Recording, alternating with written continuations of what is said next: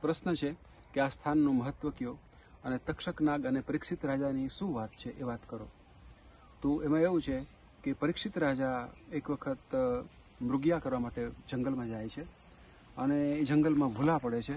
ઉનાળાનો સમય હશે અને અત્યંત એને તરસ લાગી હોય છે. એટલે તૃષાતુર રાજાની નજર પડે છે, એક ઋષિનો આશ્રમ હોય છે. એ ઋષિના આશ્રમમાં પોતે જાય છે. અને ઋષિના આશ્રમમાં જાય છે અને ઋષિને પૂછે છે, રાજા કે મારે પાણી પીવું છે કે વોટ્સો એવર તો ઋષિ હતા એ ધ્યાનમગ્ન હતા, સમાધિમગ્ન હતા. એટલે એને કંઈ, એની ઇન્દ્રિયોના દેહ વ્યાપારો બંધ હતા. એટલે એને સંભળાતું નથી કંઈ અને એ કંઈ જવાબ નથી આપતા અને એનું ધ્યાન ભંગ નથી થતો.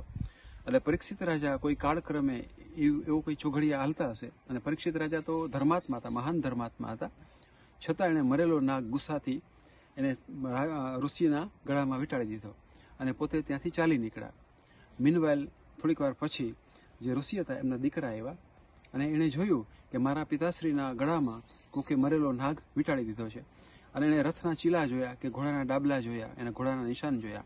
અને એને ખ્યાલ આવી ગયો કે કોઈ વ્યક્તિ અહીંયા આવ્યો છે અને એણે આ દુષ્કર્મ કર્યું છે. એટલે એણે સાપ આપ્યો તરત જ કે જ્યાં આજથી સાતમા દિવસે તને તક્ષક નામનો નાગ કરડશે. એટલે તક્ષક નાગ છે, એ નાગોના રાજા છે અને એના વિષનું કોઈ નિવારણ જ નથી. અચ્છા. મીનવાઇલ થોડીક વાર પછી એ ઋષિ જાગે